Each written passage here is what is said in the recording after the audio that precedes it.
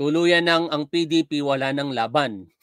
Ah, literal na po yan ang ibig sabihin. Kasi nung nakaraan, eh, laban, pangalan lamang ng laban ang tinanggal po sa PDP. Pero ngayon, mukhang talagang literal na na wala nang magiging laban ito pong PDP. Kasi ang pinakahuling dagok sa kanilang barko ay ang pagbibitiw bilang miyembro nito pong si Governor Gwen Garcia sa kanilang partido. At ano ba ang kadahilanan bakit po nagbitiw itong si Governor Gwen, Gwen Garcia? Yan po ay uh, nakalagay dito sa letter na ito na ipinadala nito pong si Governor Gwen Garcia para sa presidente ng PDP diyan po sa Visayas region ano particular sa area po nitong sina Governor Gwen, Garcia. At uh, puntahan na lamang po natin muna ang balita kaugnay po niyan. Ito po kasi ang balita mula po sa Rappler. Cebu Governor Gwen Garcia resigns from Partido Demokratiko Pilipino or PDP. Ito po yung letter niya. Ano po ba ang sinasabi dito sa balita? May 28, 2024, past 7 in the evening. This comes after a party mate Cebu City Mayor Reich, I'm sorry, Mike Rama filed a complaint urging the office of the president to suspend the governor for alleged abuse of authority.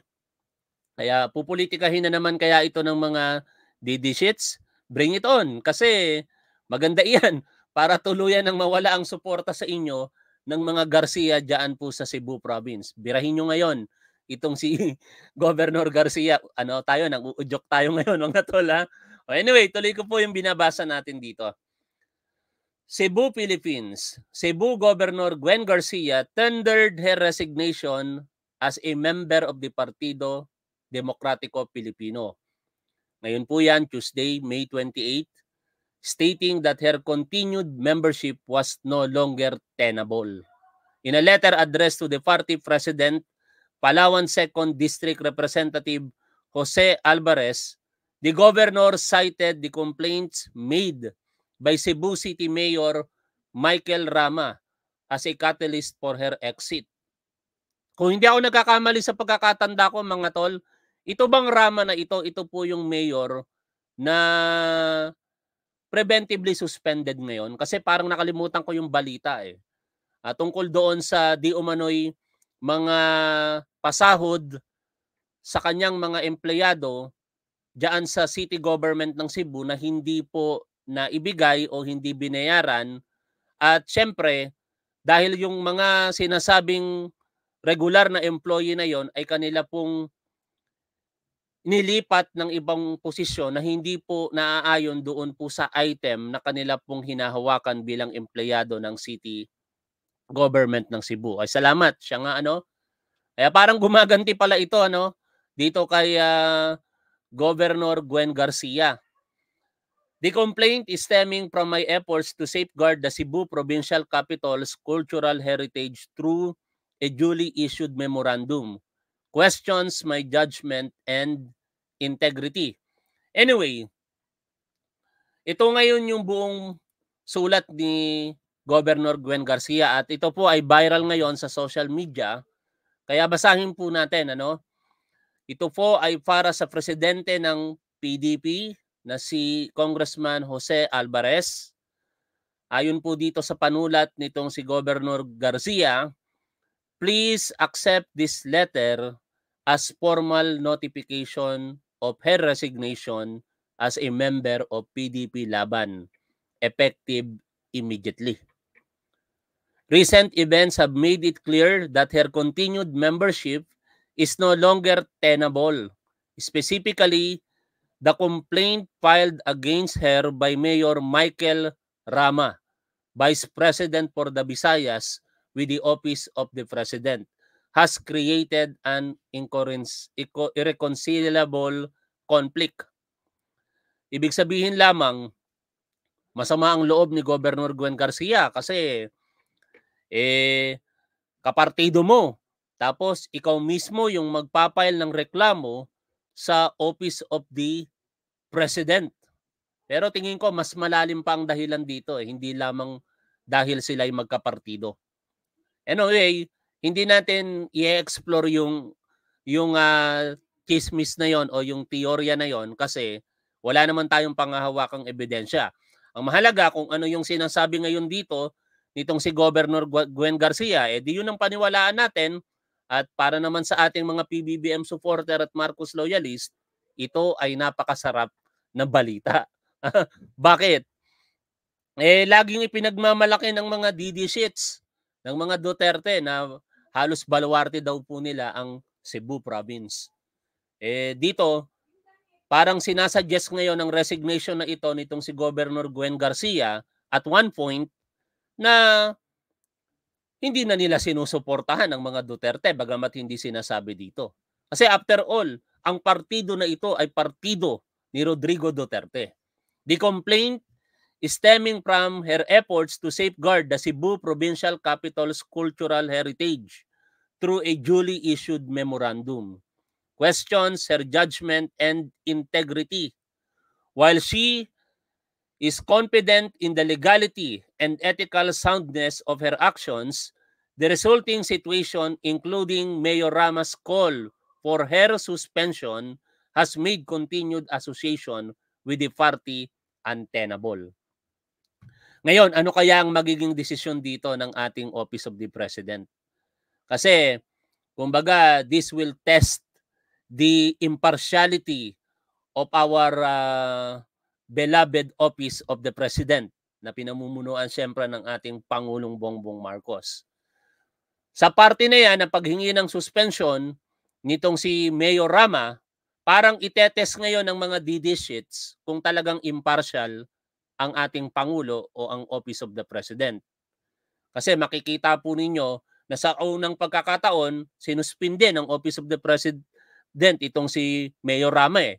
Kaya parang ang gagawin nila, o sige nga kung talagang impartial kayo, kaya nyo bang suspendihin itong si Governor Garcia? Kaya ang nakikita natin dito na intention nitong si Mayor Rama ay political din. Pero ako nagtitiwala ako na ang ating Pangulo, ang ating Office of the President, magiging par impartial po rito. Gagana po dito ang rule of law. Kung talagang si Governor Gwen Garcia ay merong basihan para isuspinde, naniniwala ako na hindi magdadalawang isip ang Office of the President na isuspinde ang gobernadora kung meron pong sapat na ebidensya. At after po ng due process. Kasi malamang sa malamang yan po yung layunin talaga dito eh nitong si Mayor Rama at the same time ng mga taong nasa likod po nito. Tuloy ko po yung binabasa natin dito. In light of these circumstances, she believed it is in the best interest of both herself and PDP Laban that she step aside, upholding her personal and professional values while avoiding any action that could be detrimental to the party is of paramount importance. The current situation has unfortunately created an environment where she continued where her continued membership would be inimical to both the party and herself. O kaya malinaw ha, this is an irrevocable resignation Ipinapakita lamang po nito na talagang ang PDP laban, partikular sa province of Cebu, wala nang laban. Kasi the moment na nagbitiw ang incumbent governor sa partido na ito, ibig sabihin hindi na nila susuportahan ang anumang political uh, preference nitong partido na ito sa kasalukuyan at sa hinaharap. Kaya again, pabor na pabor po sa atin ito bilang nagmamahal at sumusuporta sa ating Pangulong Bongbong Marcos. But on the other hand, dito rin natin matetes kung talagang impartial ang Office of the President. Kaya sana maging transparent dito ang Office of the President kasi may reklamo eh. Katulad dito kay Mayor Rama, may nagreklamo na mga empleyado ng city government at ito makatapos pong tingnan ang mga ebidensya ay kinakitaan po ng sapat na basihan para i-preventively suspend itong si Mayor Rama. At the same time, dito naman kay Governor Garcia, kung ito po ay kakikitaan ng ebidensya din para sa di umano'y reklamo nitong si Rama, eh dapat hindi magdalawang isip na isuspindi din ng Office of the President ang gobernador ng Cebu. Pero yan, hindi pa natin alam. Kasi hindi naman natin nakikita kung ano ba yung partikular na reklamo at saka yung mga partikular na ebidensya na inilalatag ngayon nito pong si Mayor Rama. Baka after all, ito po ay harassment lamang para kay Gobernador Gwen Garcia sa parte nitong si Mayor Rama dahil alam naman natin na hindi talaga magkasundo ang dalawa. Panahon pa lamang ni Rodrigo Duterte, hindi pa Pangulo si Pangulong Bongbong Marcos. Meron na pong gusot sa pagitan po ng city government at saka ng provincial government. Anyways, ayon po dito sa balita ng Rappler pa, basahin po natin yung portion na ito. Funded the decision. In a press conference on Tuesday afternoon, the Governor Garcia disclosed that she pondered on the decision to resign for quite some time, seeking reasons to stay. And ayon po sa kanya, it came as a surprise to me that a party mate and, as I have said, an official at that of the party would instigate such an actions against a member. Para kasing sa pananiw dito nitong si Mayor uh, ni Governor Garcia, hindi naging katanggap-tanggap ang naging aksyon ng kanilang vice presidente sa PDP diyan po sa area ng Cebu.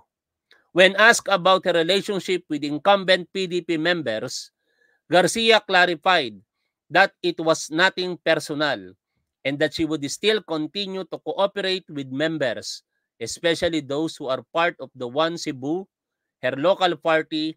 Garcia is the chairman of One Cebu.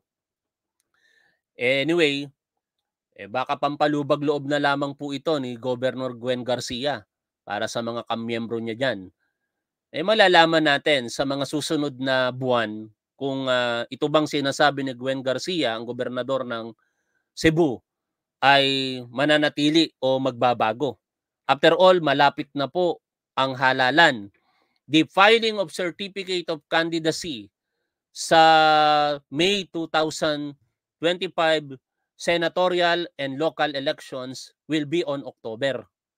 At uh, definitely, pag meron na nag-file ng mga kandidato sa pagka pagka mayor, pagka vice mayor, governor, vice governor, congressman at sa national election sa mga senador, dito na natin talaga makikita kung ano yung sense of direction na tataka, natatahakin nito pong nito pong uh, naging desisyon ni Governor Gwen Garcia.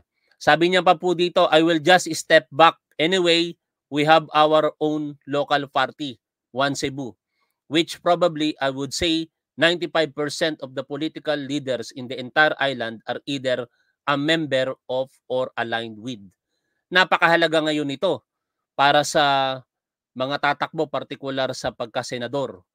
Kaya ang talagang matatamaan dito ang mga PDP senatorial candidate. Kasi kung bumitiw ito pong si Governor Gwen Garcia, eh wala nang reason para sa kanya na suportahan ng merong ganong kalakas na pagsuporta katulad ng pagiging miyembro niya pa before sa PDP laban. Kasi kung hindi nagbitiw itong si Governor Gwen Garcia, simple lang naman, di ba? Mauobliga siyang suportahan ang mga katulad ni Philip Salvador na alam naman natin na nagdeklara na po ng kanyang kandidatura para po sa pagkasenador sa darating na May 2025 senatorial election. Kaya again, magandang balita po sa atin ito dahil ang laking kabawasan ng Cebu province dahil ang impluensya po ng gobernador na si Gwen Garcia ay napakalaki para po sa kanyang mga kababayang Pilipin, uh, kababayan diyan kung sino ang iboboto nila sa pagkasenador. Masayang masaya ako dito to be honest with you mga tol na isa ito sa mga maituturing kong downfall ng mga Duterte, partikular diyan po sa Cebu province. Kanina nga nag-uusap kami ng kapatid ko. Sabi ko sa kanya, alam mo tol, napakabilis sumikat ditong si Rodrigo Duterte sa national politics. Biruin mo, in just a span of several months lamang from nothing, mula sa nothing na candidate, eh, eventually nag-emerge as victor in the 2016 presidential election. Pero kung gaano kabilis yung pagsikat niya sa national position, eh tingin ko ganun din kabilis ngayon pa, ang pag-deteriorate ng kasikatan nitong si Rodrigo Duterte at ng mga Duterte. Pansinin po ninyo, partikular kay Rodrigo Duterte, ang mga dating punong-puno ng mga tao na kanyang pinupuntahang mga political rally, nung siya ay kumakandidato pa lamang sa pagka-presidente at nung siya ay presidente, ngayon dahil po sa kanyang mga katarantaduhang pinagagagawa at kasinungalingan na pinapakalat, eh nawawala na po ang suporta ng tao. Maiingay na lamang po ang mga content creator na sumusuporta dito kay Rodrigo Duterte kaya piling po nila marami pa po sila. Pero ang katotohanan, unti-unti na pong nawawala ang suporta na yan ng taong bayan sa dating Pangulong Rodrigo Duterte. And nakikita na rin po natin yan na naapektuhan na dyan ang kanyang anak na si Sara Duterte. In the latest survey na isinagawa po ng Okta Research, bagamat parehas sila ng ating Pangulong Bongbong Marcos na bumaba ang pagtitiwala ng taong bayan, eh makikita po ninyo na higit na mas mataas ang porsyentong nabawas dito po kay Sara Duterte kumpara sa ating Pangulo. Sa akin naman, sa totoo lang, wala na akong pakialam dyan eh. Kasi bakit? Presidente na si Pangulong Bongbong Marcos. Eh ano ngayon? Kung bumaba ang tiwala ng taong bayan, after all, magbabago ang lahat ng iyan kapag ka nagtagumpay si Pangulong Bongbong Marcos sa hinaharap. Hindi mahalaga sa akin ang survey pag ang pinag-uusapan si Pangulong Bongbong Marcos. Ang mahalaga sa akin ay kung ano ang kanyang ginagawa sa kasalukuyan at gagawin pa sa hinaharap. At ipinapanalangin ko na sana ang mga ginagawa niya at gagawin pa sa hinaharap ay magtagumpay para kahit paano yung mga survey na yan, papabor na rin sa huli sa ating mahal na Pangulong Bongbong Marcos. Ngunit, kay Sara Duterte, kita naman natin na kailangan kailangan nilang itaas palagi ang kanyang survey. Pero wala na silang magagawa eh.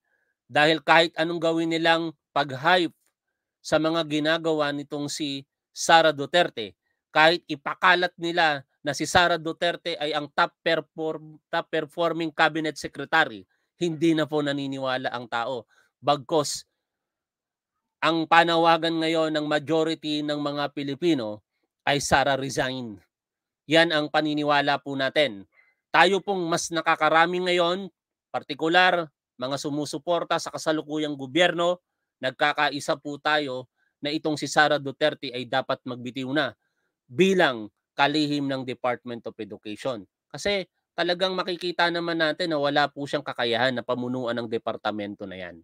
In short, unti-unti na rin bumababa ang tiwala o nawawala ang tiwala ng taong bayan sa mga Duterte, partikular dito kay Rodrigo Duterte at kay Sara Duterte. E kaugnay naman ng mga sumusuporta dito kay Rodrigo Duterte, hindi rin maikakaila na meron pong dating pastor o pastor pala na ngayon ay wanted sa batas. Wala tayong ibang tinutukoy kung hindi ito pong si Apollo Kibuloy. At sa latest na balita, kaugnay po ng kinakaharap na kaso nitong si Apollo Kibuloy, eh, ibinalita po ng Manila Bulletin at ibang mainstream media na ang kinakaharap po na kaso nitong si Apollo Kibuloy diyan po sa City of Davao ay inilipat na po sa Quezon City dahil meron daw pong compelling reasons ayon po sa ating Korte Suprema. Kaya basahin po natin ang balita kaugnay naman po ng paglipat na yan ng mga kaso na kinakaharap nitong si Apollo Kibuloy from Davao City to Quezon City. Ayon din po dito sa balita ng Manila Bulletin, compelling reasons from Supreme Court to transfer Kibuloy's criminal cases from Davao City to Quezon City Court. Ano ba yung compelling reason na ito? Eh alam po ninyo, kung ang pagbabasihan po natin sa kasaysayan o sa balita, tungkol po sa mga kaso na naililipat from one place to another, venue po ang pinag-uusapan dito. Aral nga muna tayo sa pansamantala. Venue po ang pinag-uusapan. Ang ibig sabihin, place of hearing. Ang venue kasi, ito po ay yung lugar kung saan situated yung korte. Halimbawa, nangyari po ang krimen sa City of Davao. Siyempre, kung, si, kung saan yung korte, kung anong korte yung nandoon, yun yung sasakop doon sa pinangyarihan ng krimen o sa nangyaring krimen. At on that case, the Davao City Regional Trial Court ang merong merong jurisdiction doon po sa kaso ni Apollo Kibuloy. Eh dahil nga po maaaring maimpluwensyahan ang mga testigo at iba pang mga involved na individual sa paghahanap po ng hustisya, eh minarapat po ngayon ng Korte Suprema dahil na rin po iyan sa petisyon ng Department of Justice na i-transfer po ito from Davao to Quezon City. Kaya basahin po natin ang sinasabi po dito sa balita. Compelling reasons prompted the Supreme Court to order the transfer of the criminal cases for child abuse and exploitation filed against Kingdom of Jesus Christ founder Apollo C. Kibuloy from the Regional Trial Court in Davao City to the Quezon City Regional Court. By the way, For information lamang ha, ah, ang kinakaharap po na ito na kaso nitong si Apollo Kibuloy diyan po sa Davao City ay bailable. Ngunit alam naman kasi niya na kahit siya ay uh, makapag-bail, meron po siyang kinakaharap na qualified human trafficking naman dito po sa amin sa Pasig City. Kaya hindi po siya nagpakita talaga. Dahil kapag ka nagpakita siya doon, i-hold siya eh. Dahil may pending naman siyang warrant of arrest dito po sa Pasig City.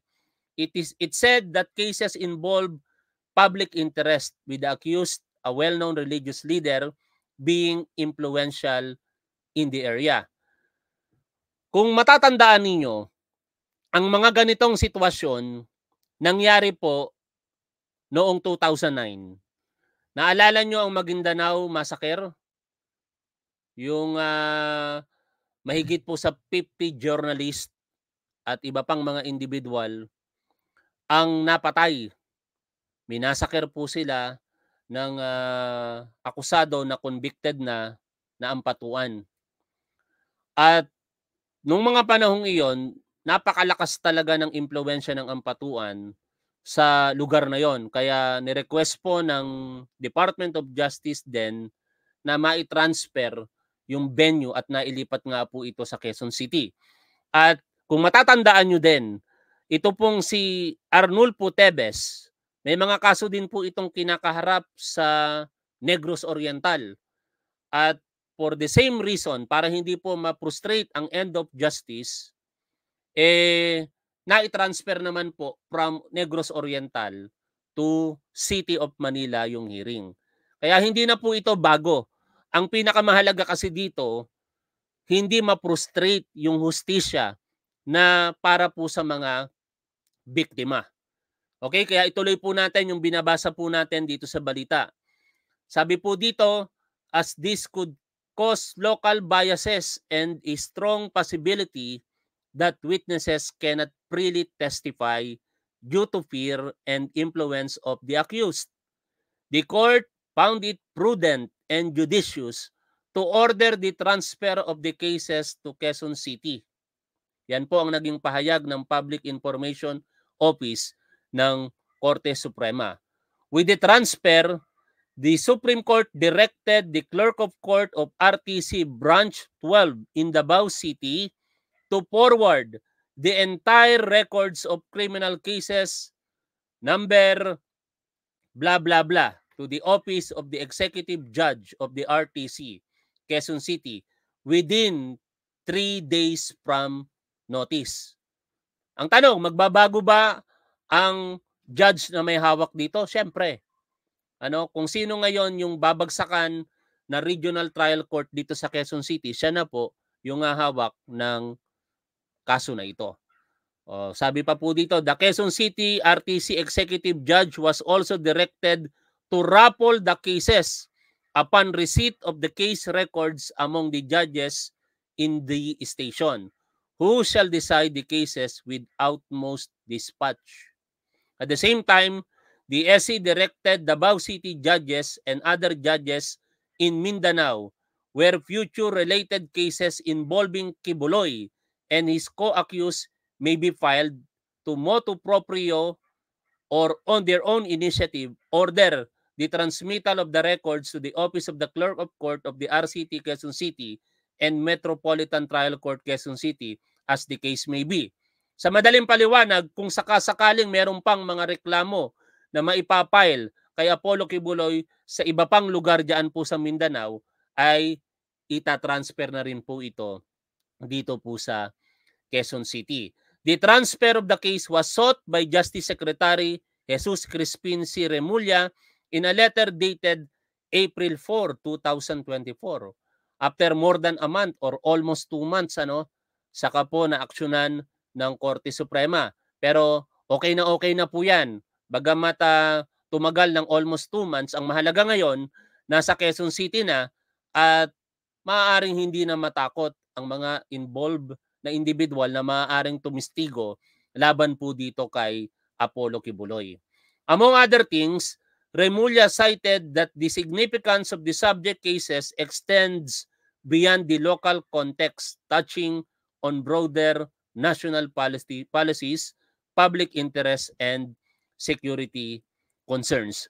Anyway, mga tol, dito, ang nakikita natin ngayon na tinatakbo ng kaso nitong si Apollo Kibuloy is so far so good. But unfortunately, until now, hindi pa po siya nahuhuli. Ayun naman po yung hindi maganda. Kasi lahat po ito baliwala kapag ka hindi po nahuli si Apollo Kibuloy. We must remember that the court to have jurisdiction over the person of the accused, dapat it is either submitted himself, itong si Apollo Kibuloy, surrender or arrested. Uh, paliwanag ko ng madali para maunawaan po ninyo. Para po magkaroon ng sakop sa pagkatao nitong si Apollo Kibuloy ang korte at siya po ay maumpisahan ng i-trial, dapat si Apollo Kibuloy ay either maaresto po ng ating mga otoridad o kusa pong sumuko sa ating mga otoridad. But unfortunately, yung ikalawang pagkakataon, ang pagsuko, mukhang hindi po yan mangyayari. Kaya ang hope na lamang po natin ay sana mahuli po sa lalong madaling panahon ito pong si Apollo Kibuloy. Ngayon na ikukumpara po ito sa iba pang mga kaso. Puro kayo ganyan, hindi nyo naman nahuhuli like si Gerald Bantag. Eh, nakalulungkot talaga yon kasi ang katotohanan, hindi po talaga madali humuli ng mga kriminal. Partikular ang mga taong meron pong impluensya at sapat na resources para po magtago. Pero ako naman bilang dating pulis at ngayon pangkaraniwang mamamayan, hindi po ako nawawala ng pag-asa na in due time, mahuhulit mahuhuli po ito pong mga fugitive from justice. Ngayon, kaugnay po ng mga paghuli na ito, partikular na rin isama natin ito pong si Rodrigo Duterte dahil sinasabi na maaari po siyang labasan ng warrant of arrest ng International Criminal Court. May mga umugong po na balita na meron daw pong dalawang batalyon na Special Action Force ang iniassign sa Davao purposely para daw po hulihin itong si Rodrigo Duterte or si Apollo Kibuloy. Pero yan po ay nilinaw na ng ating Philippine National Police at ito po, panoorin po natin ang naging interview ng uh, ah, ANC diyan po sa ating Philippine National Police spokesperson ng Davao Police Regional Office. Pakinggan po natin ang balita na ito kasi dapat maging maging uh, aware po tayo sa fake news o maling impormasyon dahil kapag ka pinaniwalaan po natin yung mga maling impormasyon, baka umasa po tayo tapos sasabihin po natin sa huli, eh wala rin palang kwenta. Nagpadala pa kayo ng mga sap dyan, di nyo rin pala mahuhuli itong si Apollo Kibuloy or in the event na magkaroon ng warrant of arrest itong si Rodrigo Duterte, eh, useless din pala. Kaya pakinggan po natin ang balita na ito. There is talk going around that there was a removal of these 35 police personnel. That's one. And number two, there was a deployment of two battalions of, uh, of SAF in the area because uh, of the impending arrest of the former president, uh, Rodrigo Duterte. Your reaction to that, Major? Uh, there was still peace on that um, Carolina. There were small battalions arrive in Davao region as uh. And the release of the 35 DCP personnel is really based on the recommendation of GS11 on the motor of investigation. All right. Having said that, you, I think, know of the sentiments of uh, uh, the. Okay, napakinggan po natin ha. Wala pong dalawang batalyon na SAP. Kahit ako nung una, akala ko totoo yun eh. Pero nung napakinggan ko po itong balita yesterday, ay hindi pala totoo. Ang pinag-uusapan lang naman natin dito ngayon na nakatotohanan ay ito pong 35 police officers from Davao City Police Office. Initially, it was reported that 40 ang mga ito. In fact, ginamit pa nga natin ang balita mula po sa Rappler. But it turned out na ito pala ay 35 lamang at ang reason kung bakit po sila nirelieve from their position ay dahil po involved sila doon sa pitong napatay sa isang armed confrontation between police officers ng Davao at saka ng mga drug suspect. At ang meron pong desisyon, siyempre nito, walang iba kung hindi ang Philippine National Police. Hindi po ito pwedeng pakialaman ng kahit sino at even mayor. Kaya yung pagkondena nitong si Mayor Baste Duterte, wala pong basihan yon dahil ang mayor meron lamang operational supervision. Ha? Hindi niya pwedeng pakialaman ang desisyon ng pamunuan ng ating PNP. In fact, ang desisyon na yan is through recommendation ng Internal Affairs Service na nagsasagawa po ng investigation doon po sa nangyaring pagkakapatay sa pitong drug suspect during police operation. Tuloy po natin pakinggan ang balita mga tol. The former president's uh, son, Davao City Mayor Sebastian Duterte, saying that the drug operations that were conducted, number one, they were legal, and number two, the removal of the police officers appears to be, in his eyes, an abuse of power by higher authorities. What is your take on that? Uh, Ma'am Karina, the PR 11 remains committed ma'am, in upholding the law with integrity, accountability, transparency in accordance with the laws, uh, policies, and guidelines. And the move is part of the procedural due process, and uh, there were no account for any personal or political motive. It's only based on the uh, procedures. Sana nadidinig mo yan. Mayor Baste Duterte ha. Walang personal or political accounts na pinag-uusapan dyan. It is based on procedure. At para maunawaan ng ating mga manonood sa madaling paliwanag, kapag ka ganito kasi yan mga tol eh, meron tayong Internal Affairs Service. Ano ba ang Internal Affairs Service? Ito po yung unit sa loob po ng PNP na direkta under the Chief Philippine National Police. Pinamumunuan po ito ng Inspector General. At ang Internal Affairs Service ay meron pong mga unit mula sa National Headquarters, Regional Headquarters hanggang sa Provisional Provincial Headquarters. Ang primary purpose ng Internal Affairs Service ay siguraduhin na ang ating mga kapulisan ay sumusunod po partikular sa PNP Police Operational Procedure. Ano ba ang PNP Operational Procedure na yan? Yan po sa madaling paliwanag yung Biblia ng mga pulis na lahat ng kanilang mga gagawin at paniniwala related sa kanilang trabaho dapat nakabase po sa manual na yan which is updated kung hindi ako nagkakamali last 2021.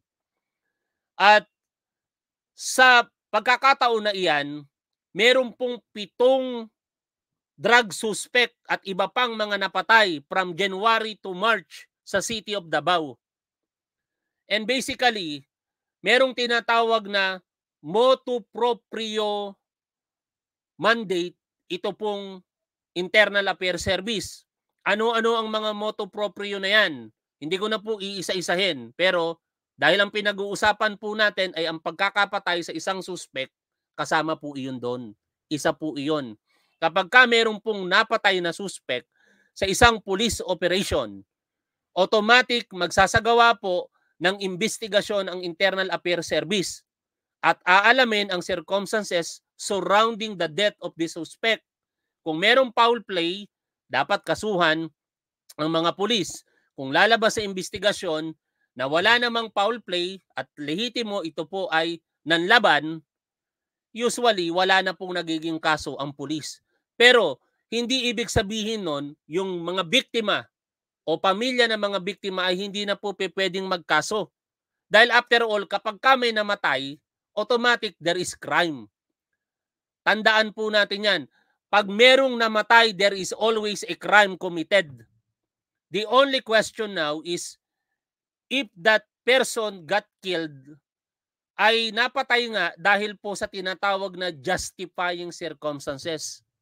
At ito naman ngayon yung magsasabi na kahit merong krimen, hindi po kriminal yung tao kasi justified yung kanilang naging action. Sa parte ng mga pulis, self-defense po ang tawag doon. Kaya pagka kinasuhan sila, may kaso talaga. Pero ang magiging depensa ng mga kapulisan ay self-defense ang kanilang ginawa para po maprotektahan ang publiko in general. O yan po yung mga dapat nating malaman. Ano? Kaya yung mga sinasabi po nitong si Baste Duterte na ito daw po ay parte ng panggigipit, parte ng paggamit ng resources ng national government para lamang daw po supilin ang kanilang mga ginagawang mabuti dyan sa Davao, wala po yung katotohanan. Dahil lahat po ng aksyon ng ating otoridad ngayon ay nakabase po sa ating mga umiiral na batas. Ang pag-relieve sa mga pulis na ito, 35 lahat sila, yan po ay parte ng proseso para alamin kung meron po ba silang accountability doon po sa pagkakapatay sa mga suspect ng illegal na droga diyan po sa City of Davao. At dapat pagdaanan yan. Kasi after all, pag hindi po yan napagdaanan, lalabas na parang nauulit lamang yung nangyaring war on drugs sa panahon ni Rodrigo Duterte kung saan kaliwat kanan ang napapatay na mga drug suspect pero wala man lamang na papaharap sa kanilang mga liabilidad. At hindi na yon dapat maulit pa sa kasalukuyan. Sana kahit paano meron kayong natutunan sa pinag-uusapan po natin na balita sa oras na ito. At to recap our live streaming, again, Si Governor Gwen Garcia bumitiw na po bilang miyembro ng PDP na ngayon ay wala ng laban at si Apollo Kibuloy ay hanggang sa ngayon nagtatago pa rin pero ang mga kasong kanyang kinakaharap diyan po sa City of Davao ay na-transfer na po within 3 days ita-transfer na sa Quezon City Regional Trial Court. Maraming maraming salamat sa inyo mga tol. By the way, nakalimutan ko, yung dalawang SAP batalyon na kumalat sa mga balita, hindi po totoo. Only 35 police officer lamang ang nirelieve sa pwesto. Kung meron mang movement ang SAP troopers natin diyan sa City of Davao, hindi po ito dalawang batalyon.